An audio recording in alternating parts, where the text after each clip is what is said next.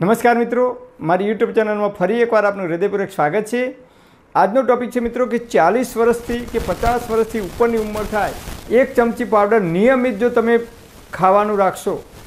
તો આયુર્વેદમાં ચરક સંહિતામાં ચરક ઋષિએ કહ્યું છે કે તમે જ્યાં સુધી જીવશો, ત્યાં સુધી તંદુરસ્ત અને નિરોગી રહી શકશો. એટલે કે ચાલી કે પચાસ વર્ષ પછી જેટલી પણ બીમારીઓ થાય છે, હાથ પગના સ્વાદામાં દુખાવો થવો, કડતર થવી, ઢીંચણમાં કટકટ અવાજ આવવો યુરિક એસિડનો પ્રોબ્લેમ પેટમાં ગેસ થવો, અપચો થવો, કબજિયાત થવી હાઈ બીપી હૃદયરોગ થાઇરોઇડ, આ તમામ પ્રકારની જે બીમારીઓ થાય છે, એ તમામ પ્રકારની બીમારીઓની અંદર અદ્ભુત પરિણામ આપે છે. આ એક જ ચમચી પાવડર તમારે દરરોજ લેવાનો છે. તો કઈ વસ્તુ છે? તો પહેલાં પહેલાં છે ગળો લેવાની. લીમડા ઉપરની ગળો હોય તો અતિ બેસ્ટ તો લીમડા ઉપરની ગળો હોય તો ગળોનો ગળોને કાપી ટુકડા કરી અને સૂકવી દેવાની, એટલે ગળોનો પાવડર બનાવી અને કાચની બરણીમાં ભરી દેવાનું.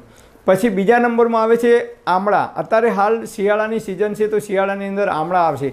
તો આમળાને ઘરે લાવી, ટુકડા કરી અને સુકવણી કરી દેવાની. અને એનો પાવડર બનાવી એ કાચની બરણીમાં ભરી દેવાનો. ગળો, આમળા અને ગોખરું.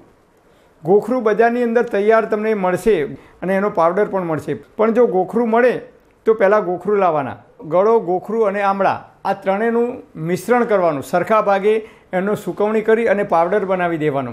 અને એ પાવડર નિયમિત દરરોજ સવારે ઉઠી એક ગ્લાસ ઉંફાળા પાણીની અંદર એક ચમચી નાખી અને દરરોજ પી જવાનું. તો તમને તાવ, શરદી, ઉધરસ કરતળ જે કંઈ બીમારીઓ છે, મોટાભાગની બીમારીઓની અંદર તમને અદ્ભુત પરિણામ આપે છે. કારણ કે ગળોને પૃથ્વી ઉપરનું અમૃત કહેવામાં આવે છે.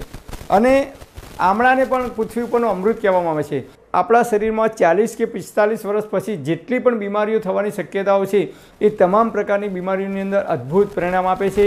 આપણું માઇન્ડ પાવરફુલ થાય છે, યાદશક્તિ વધે છે અને મોઢા ઉપર જે કંઈ આપણને કરતલી પડે છે, એ જલ્દી કરતલી પડતી નથી. એટલે યુવાની લાંબા ટાઈમ સુધી જળવાઈ રહે છે, આંખોની અંદર રોશની તેજ થાય છે, કાનમાં જે લોકોને સંભળાવવાનું ઓછું થાય છે, એ સંભળાવવાનું જલ્દીથી ઓછું થતું નથી. આમ ચાલીસ કે પચાસ વર્ષ પછી જેટલી પણ બીમારીઓ આપણા શરીરમાં આવે છે, એ તમામ પ્રકારની બીમારીઓ જલ્દીથી આવી શકતી નથી અને આપણે એ બીમારીઓ સામે રક્ષણ મેળવી શકીએ છીએ. અને આપણે જ્યાં સુધી જીવીએ ત્યાં સુધી તંદુરસ્ત અને નિરોગી રહી શકીએ છીએ. પરમપિતા પરમાત્મા, આપ સર્વેને તંદુરસ્ત અને નિરોગી રાખે એવી હૃદયપૂર્વક મારી પ્રાર્થના. Thank for watching my video thank you